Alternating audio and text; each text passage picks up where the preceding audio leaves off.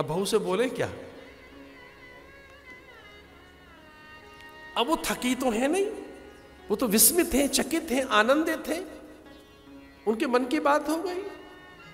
कमलासन आए, कमल पे बैठती हैं। कमल की गंध उन्हें प्रिय है। उन्होंने कहा, धन्य है ये अयोध्यावासी। हमारे अनुकूल इत्र बिछाया है इन्होंने। हमारे अनुकूल गंध हमें मिल गई है। तो लक्ष्मी जी को अपने अनुकूल गंध, अपने अनुकूल परिवेश देखकर आह्लादित है माँ। और कौशल्या ने कहा, ना मेरी बहुत थक गई, गोद में उठा लिया, अब तो होड़ लग गई। के के को लगा के अब कर क्या रही हैं ये? बुढ़ापे में बहु गोद में उठा ली इन्होंने, ये थक जाएँगी। उतारो उतारो, फिर के, कई ने गोद में ले ली। थोड़ा वो लेकर चली तो सुमित्रा ने कहा कि आपको सब नहीं आता है करना, छोड़ दो, हम लेंगे इन्हें। अब सीता जी संकोच में है, वो कहती है, आप ऐसा न करें, मैं आनंद में हूँ। आपसे बस यही कहना था, बहु आए तो पलकों पे बिछाओ, गोद में उठा लो उसे। उसे पराया मत समझो। वो कुल दीपक देने आई है, वंश विस्तार करने आई है। भव तारका है, वो कुल तारका है। घर का उजियार है, घर का प्रकाश है। वो घर का भार उतारने आ गई बहू भाई। आदर करिए बहू नहीं आई है, बहू के बहाने घर में लक्ष्मी आई है। कौन कहता है घर में बहू आ रही है? बहू नहीं आई है। बहू के बहाने से आपके घर में अन्नपूर्णा आई है, लक्ष्मी आई है। इससे कम मत समझना। घाटे में रहोगे। और अगर आप बुद्धि माने तो घाटे में नहीं रहेंगे, मैं जानता हूँ। बहू को लक्ष्मी मानो, अन्नपूर्णा मानो। आदर करिए उस पर, विश्वास कीजिए।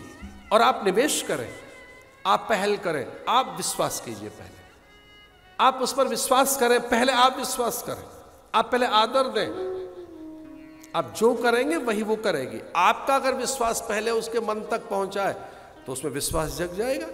और आपके मन में अविश्वास है तो उसमें भी अविश्वास पैदा होगा।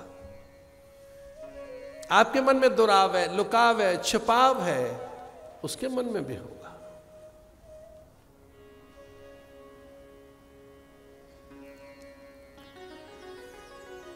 आसन पर बिठा दिया गया, सुंदर से आसन पर।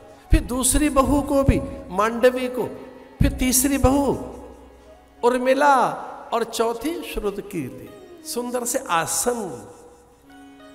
शुभ शगुन नेगाचार होने लगे, मंगलाचरण होने लगा। दशरथ जी से रहा नहीं गया। उन्होंने कहा, है तो रानियों का काम, पर हमसे तो नहीं रहा जा रहा है। हम तो बहुओं के दर्शन करने चलेंगे अब दशरथ को लगा कि ये ऐसा उचित तो नहीं है। रनिवास में अनायास हमारा जाना। तो सुमंत्र को भी साथ में ले लिया। फिर उन्हें ऐसा लगा कि सुमंत्र से बात नहीं बनेगी। एक बड़ा सा काम कर लेते हैं हिम्मत करके गुरुदेव के चरणों में शीश झुकाया और कह ले गुरुदेव, बहुओं को आशीर्वाद ही दे दे।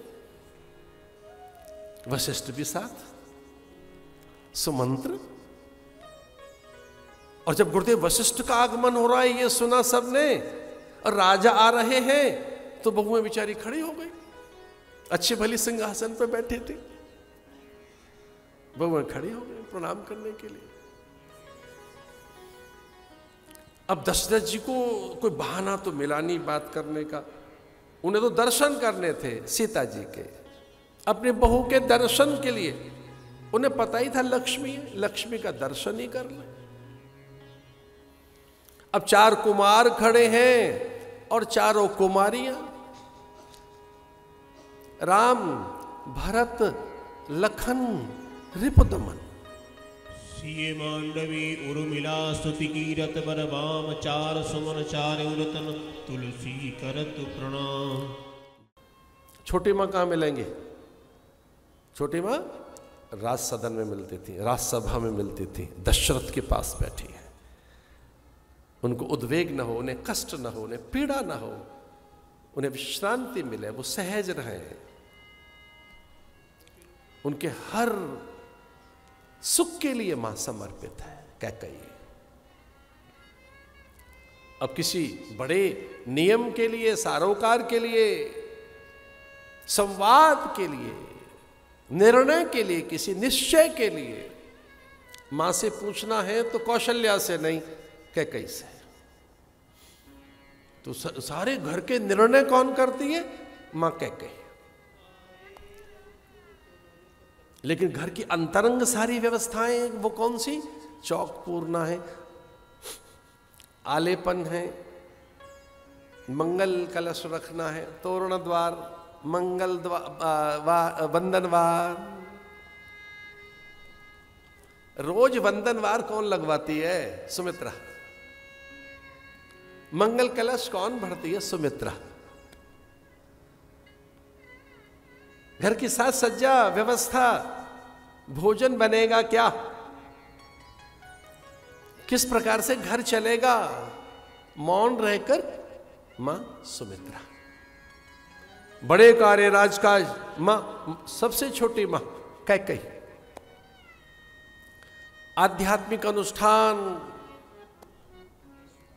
ज्येष्ठा कौशल्या।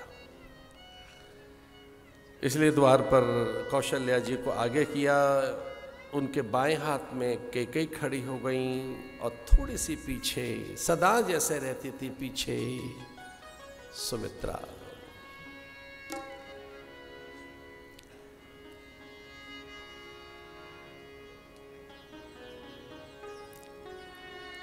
सुमित्रा की व्यवस्था देखकर चकित थी। कौशल्या। एक वितस्ती